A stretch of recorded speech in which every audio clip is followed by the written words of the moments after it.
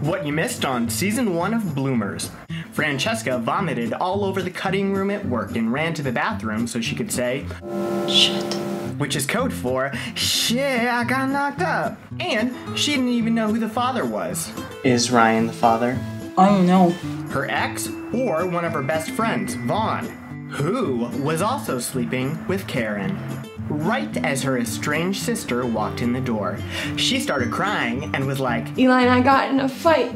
he left her because When we found out I couldn't have kids. Clarissa is here to stay. Would you mind if I moved to LA? Brooke was doing anything for a job, even things that didn't have penises.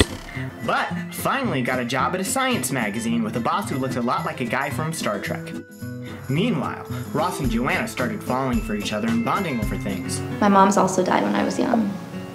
Car accident. Cancer. Romantic. And then Joanna was all like, no, don't. But then she was all like, make out with me. And then Vaughn decided to flirt with Yolanda. Oh, Yolanda. Well, how can I resist that? And now you're all caught up on season one and ready for season two of Bloomers. thank you